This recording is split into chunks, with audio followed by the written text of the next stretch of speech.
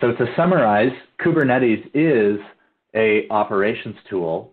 It provides open source management for collections of processes over groups of machines. What it tries to provide is a very clearly spec'd set of fundamental resources. Uh, it really tries to steer clear of solving all the world's problems and all the world's use cases.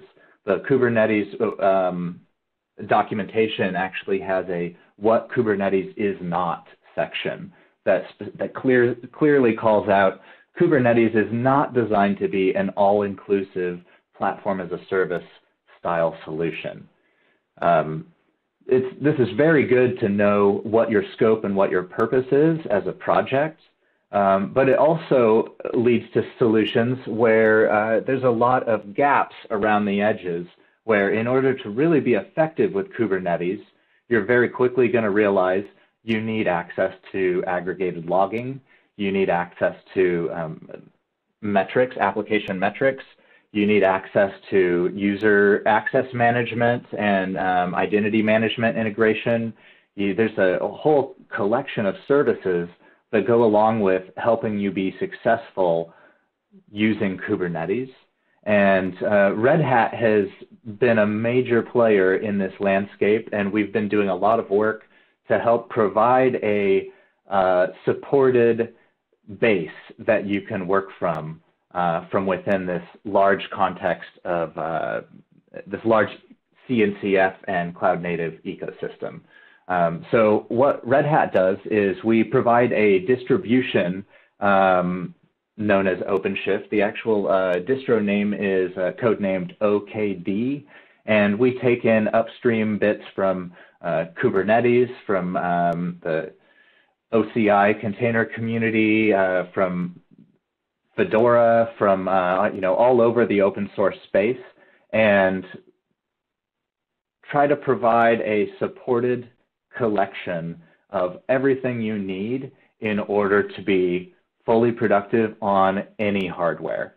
Um, we do this in a variety of ways. Uh, generally, we offer support around um, OpenShift uh, via a, a, standard mechanism, like, like we do with RHEL, where um, you uh, get license uh, licenses and can get support, uh, you know, first-class enterprise support from uh, from Red Hat.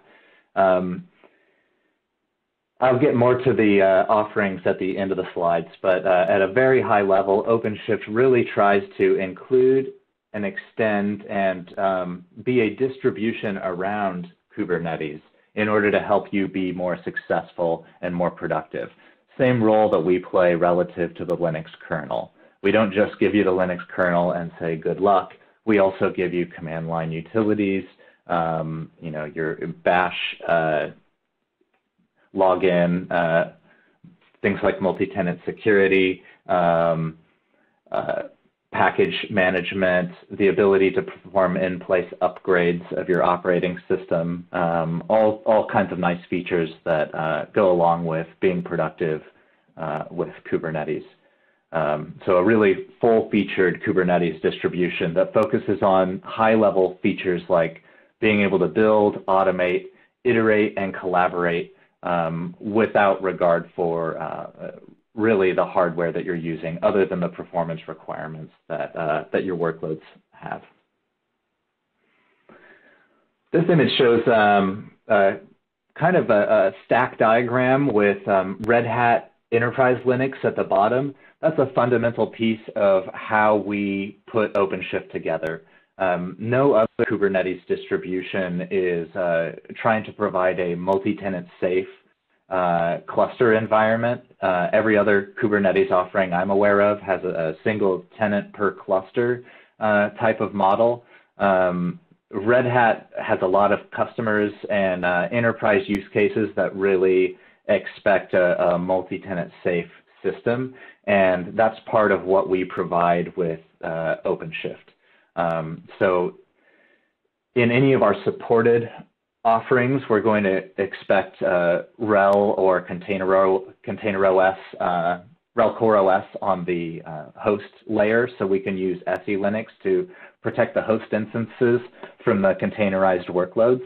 from there on up, uh, Kubernetes is really the next standardization layer.